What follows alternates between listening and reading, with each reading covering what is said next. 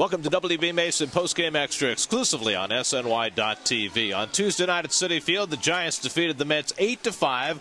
Former Met Angel Pagan came back to down and bedeviled the Mets on this night. Well, he had a beautiful day, uh, three for three. Remember, Angel missed most of the season, had surgery, had a really a hamstring tear.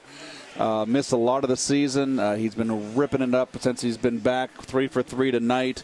Two runs, a home run, three RBI. So welcome home for Angel Pagan.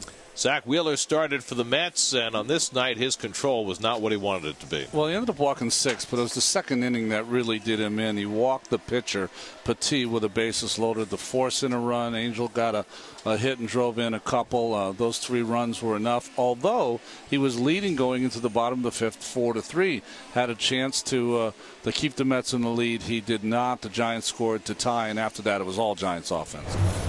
It was awesome in the bullpen. Um, you know, I told Dan in the bullpen, I was like, I'm kind of worried.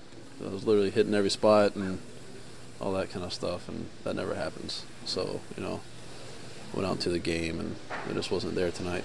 He had a great bullpen. You know, I thought it was going to be, you know, one of those days where um, it was going to be, you know, a fun one for him, but just didn't work out that way. Certainly, it was unexpected what we saw tonight because this guy's pitched so much better than than how he did tonight. I mean, that was the one thing that we've been raving about is that he's been commanding his pitches, and tonight he you know couldn't find the zone and fell behind and you know ended up getting hurt by it. But you know, again, you know, didn't let the game get out of hand, kept us in it, and we just we didn't pitch very good at the end. Your pitch count's high.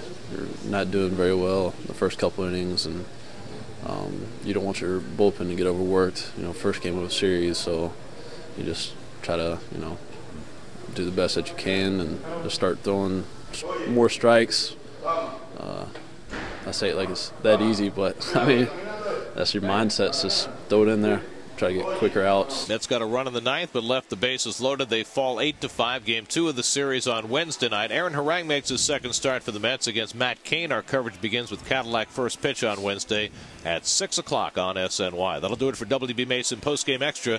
Be sure to join us after every game for exclusive coverage on SNY.TV.